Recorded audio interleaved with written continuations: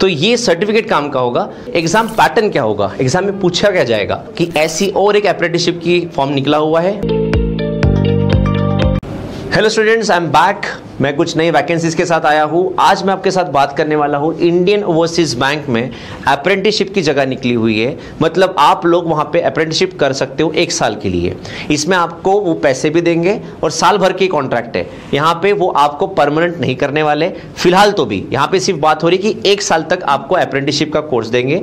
उसके बाद वो आपको एक नेशनल लेवल का सर्टिफिकेट देंगे। जो सर्टिफिकेट आप ऐसे एग्ज़ाम्स में लगा सकते हो जहाँ पे एक्सपीरियंस मांगा हुआ है। या ये जो आपको सर्टिफिकेट मिलेगा। ये डेफिनेटली आपको कोई भी अदर प्राइवेट बैंक या जब भी कोई एक्सपीरियंस माँगता है गवर्नमेंट एग्ज़ाम्स में तो आप वहाँ पे भी उसको लगा के इसका आप फ़ायदा ले सकते हो। सो एग्जैक्टली अप्रेंटिसशिप होता क्या है? इसकी कैसी वैकेंसीज निकली है? इसके बारे में चलो डिस्कस करते हैं। सो इंडियन ओवरसीज बैंक में, जैसे मैंने कहा, इसके लिए अगर आपको फॉर्म फिलअप करना है तो इसकी मेन जो डेट्स है, जो है कि 28 तारीख से शुरू हो चुका है 28 अगस्त से, और ये फॉर्म फिल कर सकते हो आप 10 सितंबर के पहले।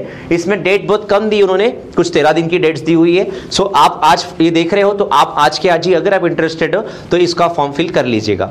बच्चों, इसका पेमेंट एप्लीकेशन दिन जो है 28 तारीख से शुरू हो रहा है 15 तारीख तक रहेगा। और ऑनलाइन एग्जामिनेशन जो होने वाली है, इसकी टेंटेटिवली 22 सितंबर को होने वाली है। यानी सितंबर में इसकी एग्ज़ाम हो जाएगी।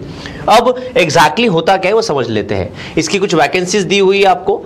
इसके बाद एज क्राइटेरिया क्या समझ लेंगे। सो so, देखिए मिनिमम एज क्राइटेरिया 20 इयर्स से मैक्सिमम 28 साल तक दिया हुआ है ठीक है?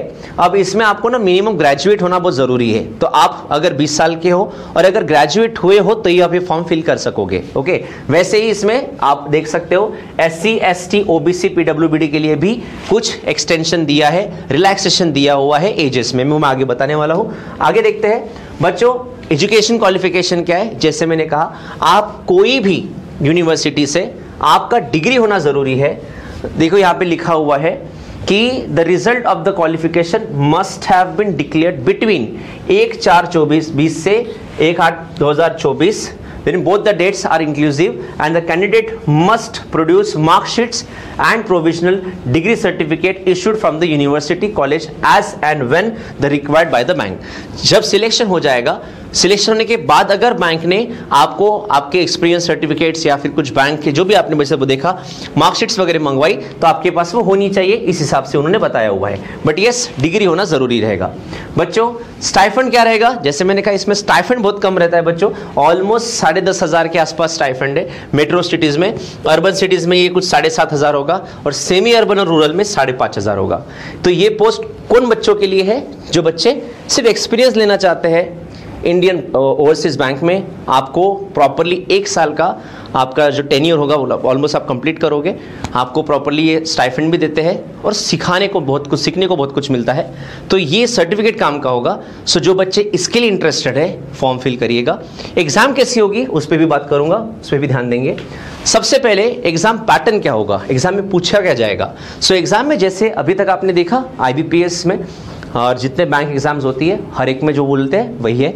जैसे इसमें जनरल अवेयरनेस फाइनेंशियल अवेयरनेस है। इंग्लिश है क्वांट्स है रीजनिंग है एंड कंप्यूटर है। सादा सिंपल पेपर है। 25 25 क्वेश्चंस है 100 क्वेश्चंस है, और 100 मार्क्स है।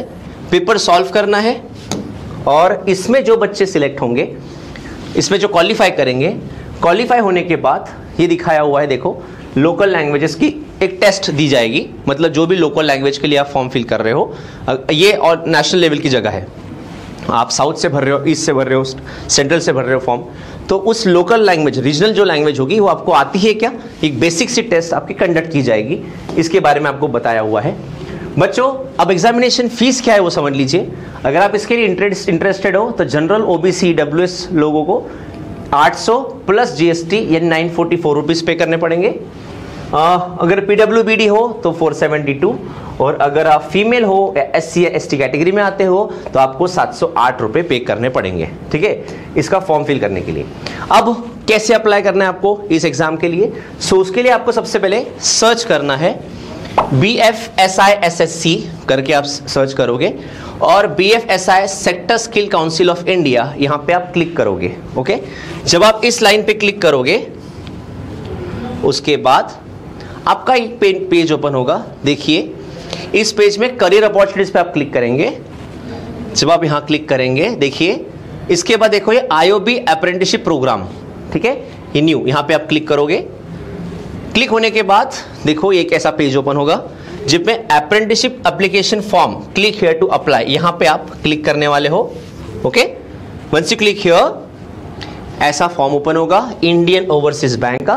इसके लिए आप पूरे इसके जो बेसिक से चीज़ें पूछिए, वो आप सब फिल करेंगे सबमिट करेंगे।